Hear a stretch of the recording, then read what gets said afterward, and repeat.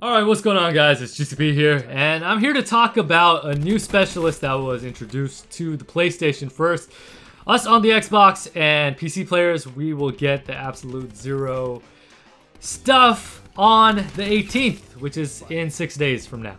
So, with this new specialist, um, the latest news right now, obviously, is that it is OP. New Specialist Zero being a crazy girl hacker is OP because she can not only hack your stuff, she can destroy it as well. So she can either hack or destroy your score streaks and your equipment.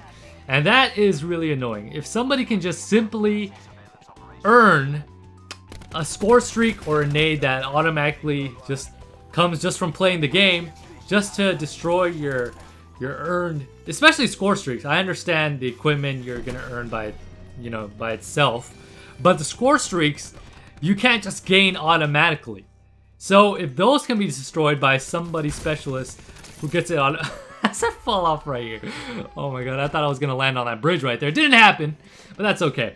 Um, so if somebody can automatically just get their special and destroy your score streak that you've earned. Especially imagine, okay look, imagine you've gotten a gunship. A gunship is the last streak you get in this game. And it's already crazy to get score streaks in this game because it costs a lot. Hell, uh, a regular UAV costs what? Six kills in order to get? It's insane. The score streaks take a lot of points to get, let alone the gunship, the last score streak in the game. So if the Hacker Zero can destroy your gunship just by simply being in the game, I think that is totally unfair. You know, I understand if maybe the hacking ability came because of score streaks um, or because of a certain amount of kills or something like that. But no, it's it's her special. Like she gets it by just being in the game. So essentially, somebody could just hold on to that special and wait till the other team gets a crazy score streak like the gunship or the strike team or the attack chopper or the mantis, something like that. And then she could just choose to activate it and just render your score streak useless. Like you had no no idea what happened. Like you spent all this time, all this effort trying to earn that score streak. You finally get it. You're super happy about it. And then just poof, like that, it's gone. Like, I think that's totally unfair. The one thing with Zero is, yes, it takes a long time for you to hack everything. And yes, you do get a marker on your head when you are activating her special that lets people know where you're at. But still, man, you could be in the very corner of the map. And maybe you could even have a coordination thing going on where your team kind of coordinates when you're going to use Zero Special. And then, you know, all of you guys can defend her while she's using that. It still is pretty crazy, and I definitely think it's OP. And this is coming from somebody who hasn't even played as Zero. Haven't even gotten the chance to lay my hands on her because I'm on the Xbox. And usually I hold off for saying things are OP until I've tried them.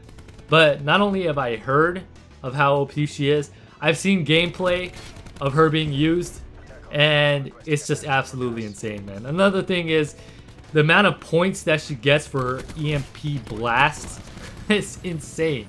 The EMT, uh, excuse me, the EMP nade that she throws has a pretty big radius in my opinion.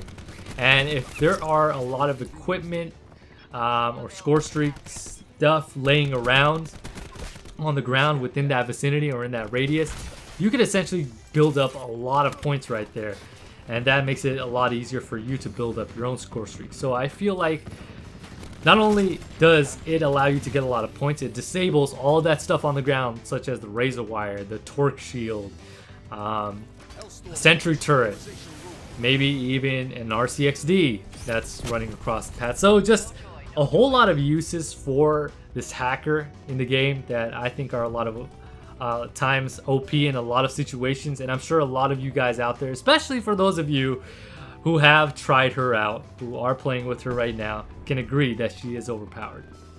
There might be some counters to her.